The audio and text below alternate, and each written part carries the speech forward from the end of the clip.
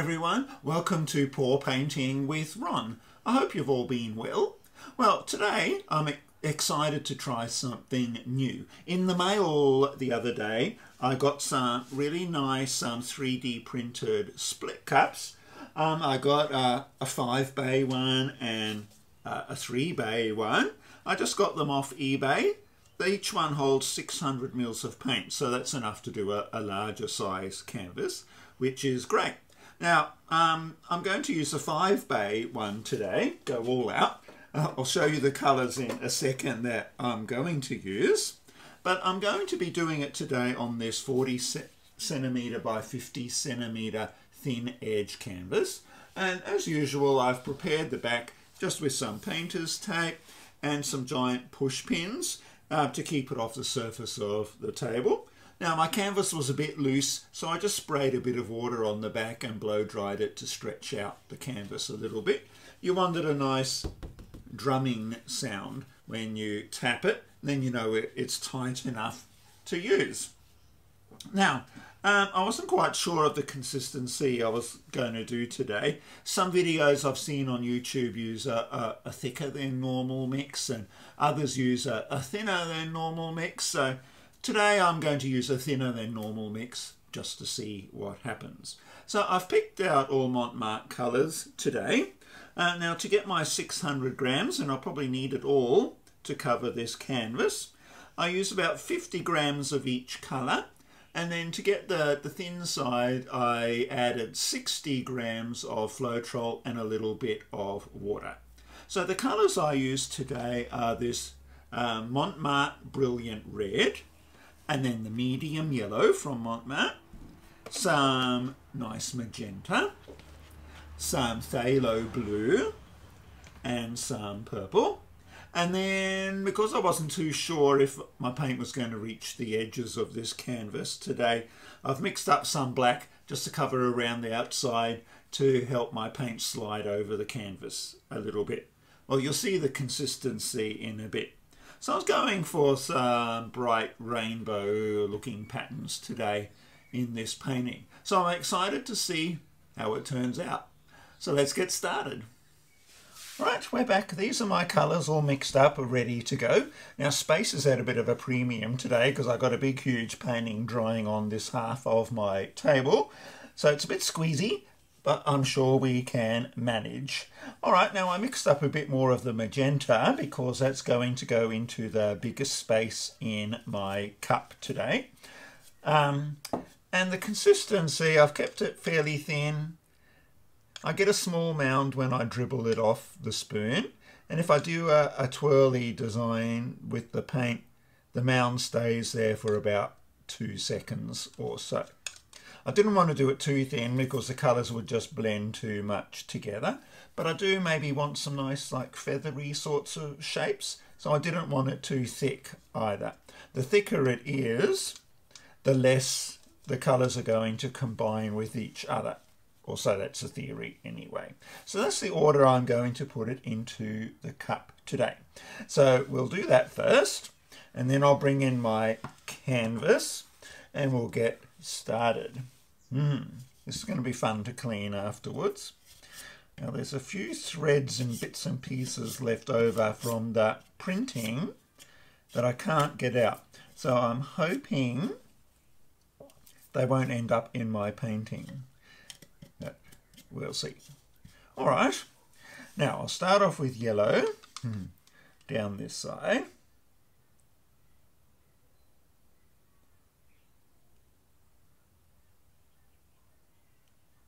Now if I've measured right, I should be able to fill it up to the top.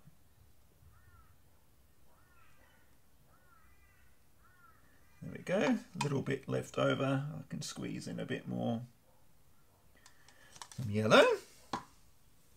And then I'll do the red.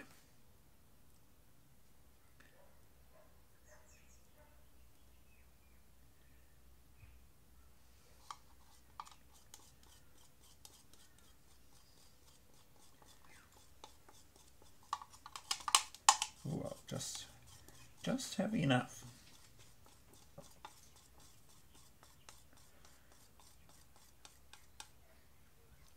There we go. Now, I think it was wise to mix up the extra magenta.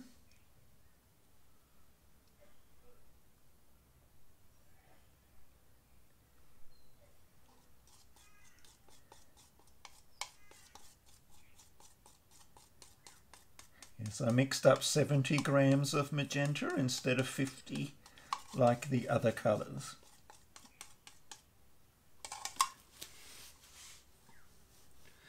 And then the blue, I mixed up the same amount of blue as I did the red, so technically it should fit.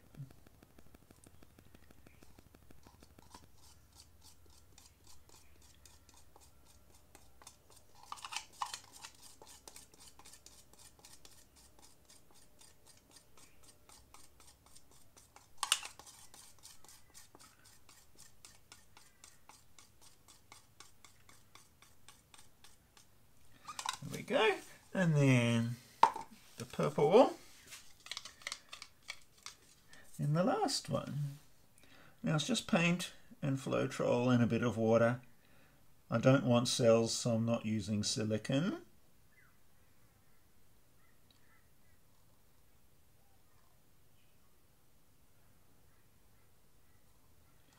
Right, a bit of purple left over and a little bit of yellow. All right, now I'll just put these aside. And I'll bring in my canvas. And the black, because I'll need that. I'll put the black over here. Put that aside. Now I'm going to be using my spinner today because I want to turn it around a little bit as I um, put the paint on and it's easier turning the canvas than it is twisting the cup. So I'll just put a board on top of my cake spinner. Hopefully you can see that. Just holds the canvas a bit better. So then I just put the canvas on the top and see you can just turn it around and it's much easier turning the canvas that way than twisting your arm around with the cup in it. Or that's what I think anyway. Okay. Ooh, scary. All right, I'll sort of start over here and wander around. I don't really have a plan. But I'll go reasonably slowly.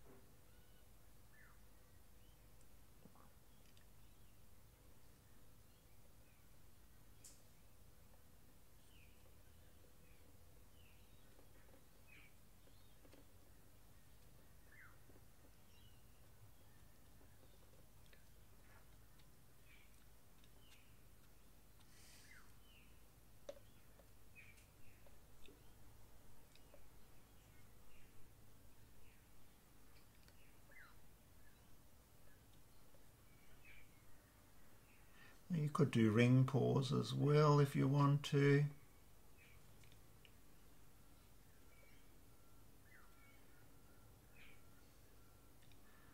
I'm just starting off with this simple one today.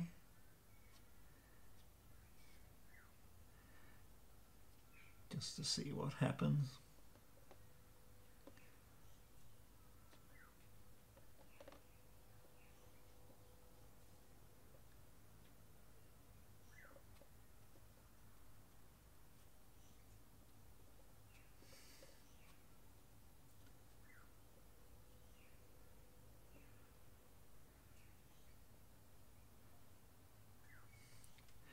The thinner you do your paint, the finer the, the feathery effect may end up being in your painting.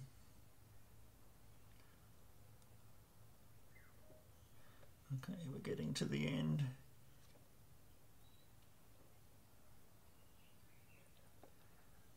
I'll probably lose some of this paint.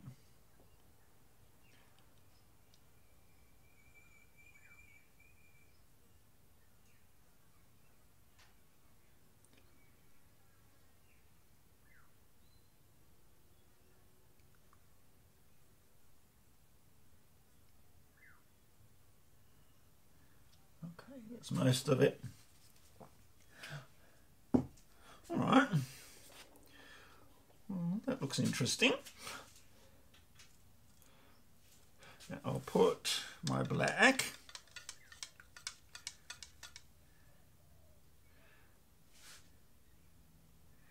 around the outside. And I'll spread it out with my palette knife.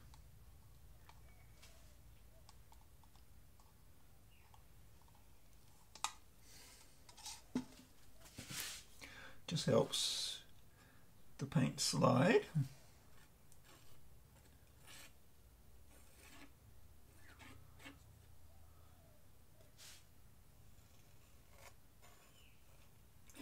Don't necessarily want black in my painting.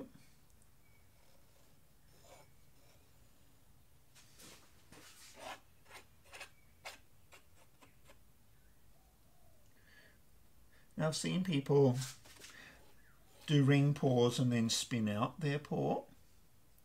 I'd like to try that one time, but today I'm just going to be tilting to get the design that will happen. I don't really know what will happen. That's half the fun of paint pouring or pour painting or however you choose to say it.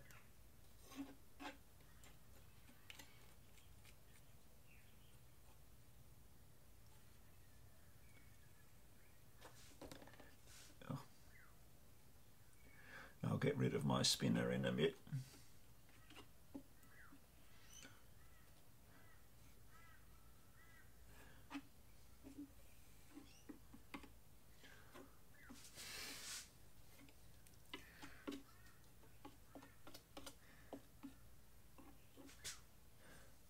Okay.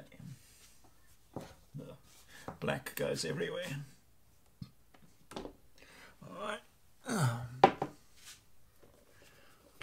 Spinner.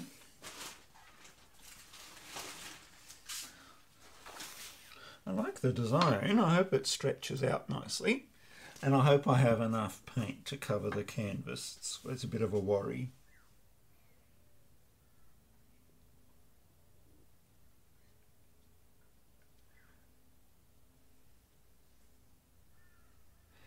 Okay, putting that black on there just helps the paint slide rather than the paint rolling over itself.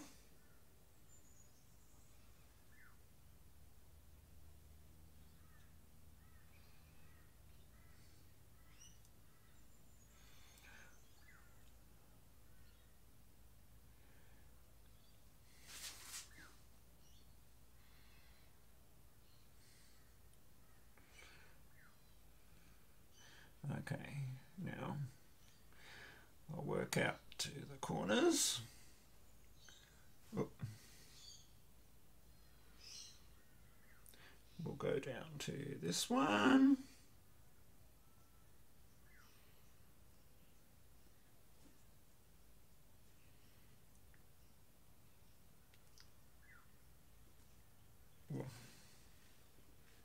Corners, I always find corners hard. Now we'll go down to this corner.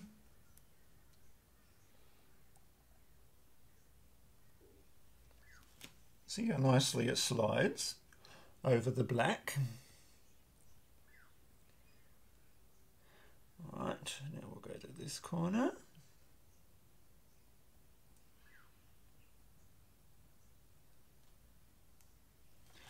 That side. All right.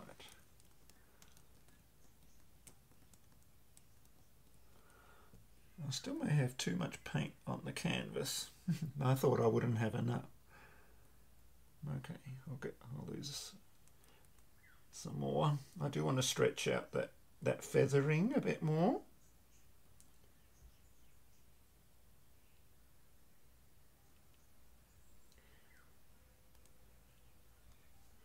So we'll take some off here.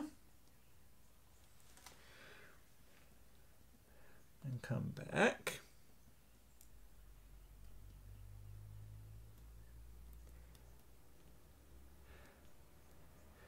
Take some more off this corner.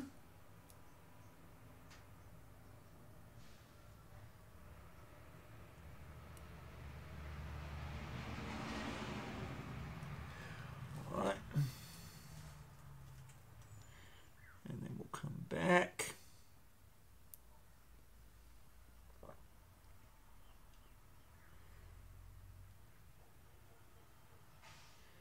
Now, how is this design?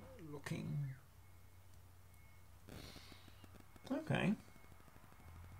Not too bad.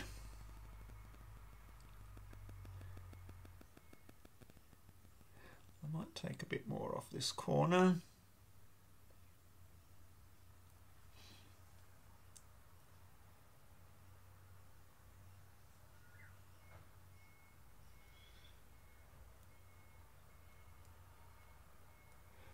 There. Bring it back.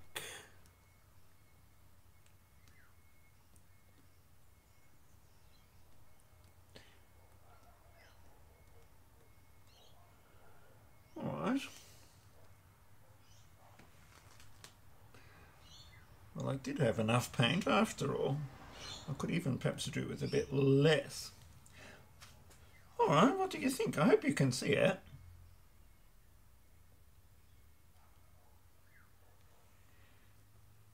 the yellow, yeah, the yellow has interacted a bit with um, the purple and you get a bit of a, a yucky sort of green colour, which I don't particularly like, but yeah, I think that's pretty interesting for the first try. I may not use yellow again, perhaps a little bright for me, maybe maybe gold gold may be better, perhaps. I know, but that that's cool. Certainly, some some interesting effects effects happening there. Anyway, I'll bring you in for a closer look. Righto, here's the the finished painting. I think it's interesting for my very first attempt at a split cup pour. I certainly need to practice, but it does create some interesting designs. And I'm, I'm not too fussed about some of the yellow. I do like what's happened in the middle here with that feathering. I think if the, the paint would have been a bit thinner, I would have got much finer lines off in the feathers. The thicker your paint is, I imagine the thicker those lines will be.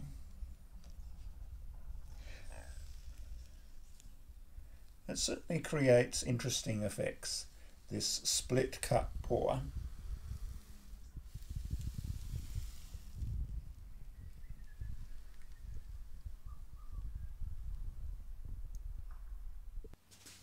So, what did you think of that one? I think it turned out rather interesting. Certainly things I can improve on, but my head is buzzing with some creative ideas that I'd like to try in future videos. Um, is that a technique you'd like to try yourself? Give it a go. It doesn't seem to be that difficult. Have a look on eBay. See if you can find some split cups. There's plenty of people selling those. Lots of different ones available. Now, as usual, if you like what you saw today, please uh, press the like button. And if you'd like to see more of my content, please take a moment to subscribe. So I hope you have a good week ahead and happy painting.